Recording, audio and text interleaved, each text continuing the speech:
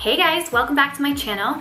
It feels like it has been a hot minute since I have filmed a video. I did a bit of like batch filming a few weeks ago, so I haven't sat down in a while. But today I was getting ready, I was about to do my hair, and I realized I never filmed a video on the style I'm about to do. And there's nothing unique about it, nothing different at all. I'm sure you guys know how to do it, but I have a couple little tricks for when I style my hair this way, so I thought I would hop on camera and show you. I know I've mentioned before that I have some gray hairs. So I'm also gonna be covering them in this video so you can see one of the products that I love to use, which I have shared before, but I'm gonna share it again anyway. So I'm just gonna show you the style, chit chat a little while we do it. So if you wanna see my favorite French braids, keep watching. Okay, so the first thing we're gonna do is take a teasing comb and part our hair right down the middle or where your natural part kind of falls. When I'm wearing French braids, I want them to be pretty much down the center, but sometimes we have weird hairlines. I kind of have like a crooked widow's peak so I try to sort of go by that. I'm gonna go just right here, not exactly on the peak,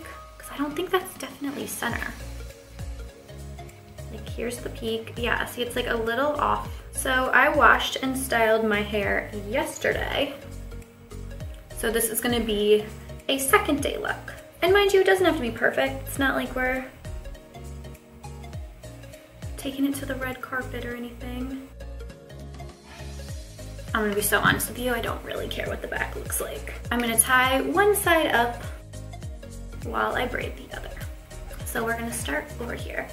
Just brush it out lightly. I don't know if I wanna leave my bang out or not. Maybe, maybe I do. Do I?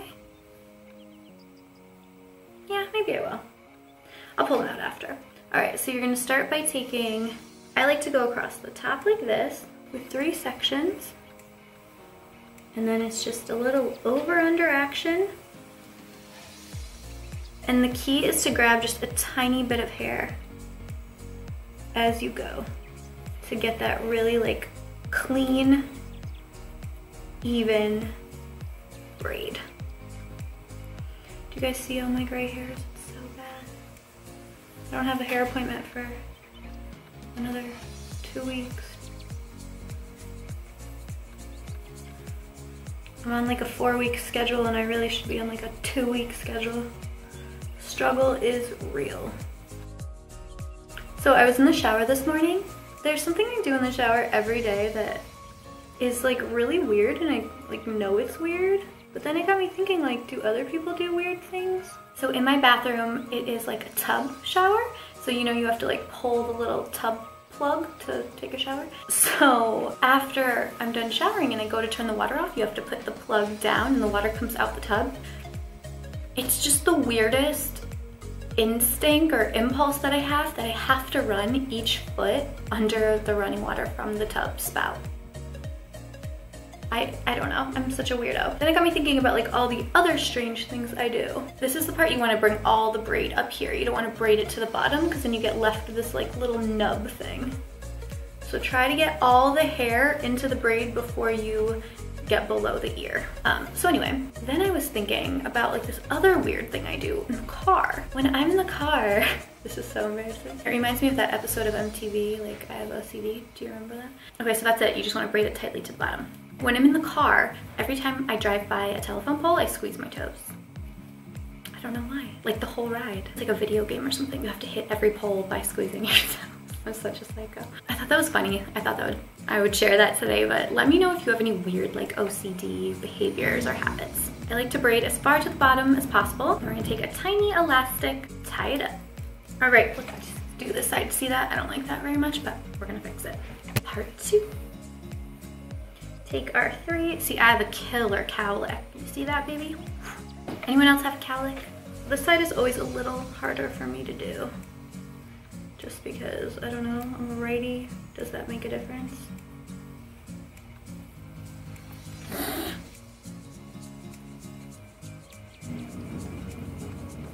Like I can't even do it. One, two, three. You just gotta get it going. That's literally the hardest part.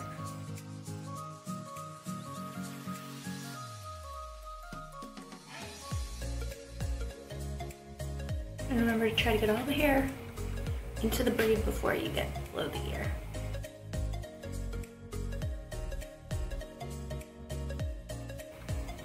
Okay, tie it up.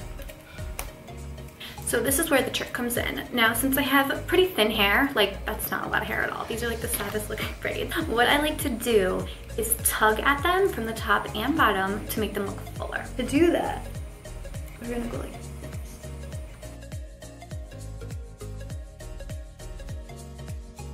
And I kind of like them like a little messy.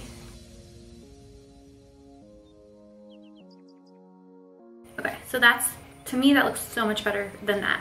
So now I'm gonna go in with a bobby pin and I don't like this here. I tried to avoid it, but sometimes it happens. I'm just gonna pin it up into the braid so you can't see it. All right, now we're gonna do this side. Just kind of loosen it up along top. And this was one of those tricks that I didn't learn for years and I was going around with like kindergarten braids for so long but this will be like such a game changer for anyone who has, you know, finer hair that can't get that thick, gorgeous braid that, you know, a lot of girls can. Okay, for some reason, this side was easier to braid and this side was easier to like fluff. I kind of have the same issue. So I'm just gonna pin that part up into the braid. All right, so now I'm gonna go try to get a little bit of the bang out, just a little because this is a messier style, so guys, this dry scalp thing is skeeving me out. I'm sorry if it's skeeving you out, but just a couple fuzzies. A couple on the side here.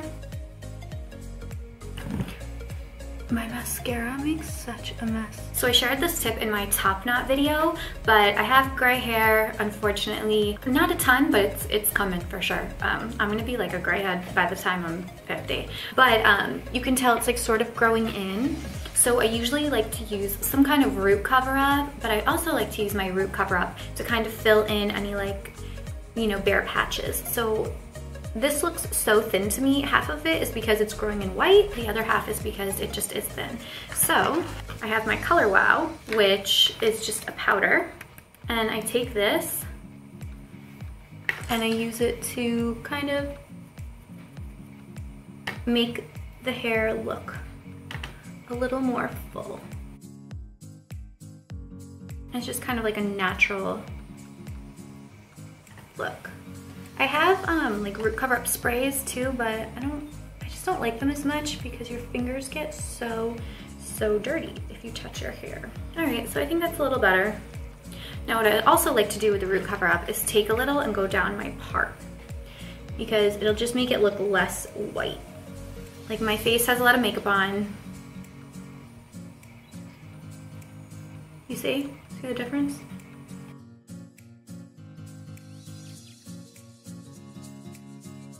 I want a little more bang. So that is it, you guys. That is how I create a cute, casual, everyday French braid for finer hair, um, just to make it look a little more full, a little more robust, um, anything to make my hair look bigger, I'm always about. So please give this video a thumbs up if you liked it and leave me a comment letting me know if you still rock French braids or if you think they are too juvenile. Like, should we stop wearing French braids after middle school? I don't know. I played softball in high school and I, I wore them all the time. I loved it. I love, I love French braids. They just make me feel like fun and youthful and I think they're cute. I think you should wear your hair however you want to wear it. As always guys, thank you so much for watching. Subscribe to my channel if you haven't done so and I'll see you next time.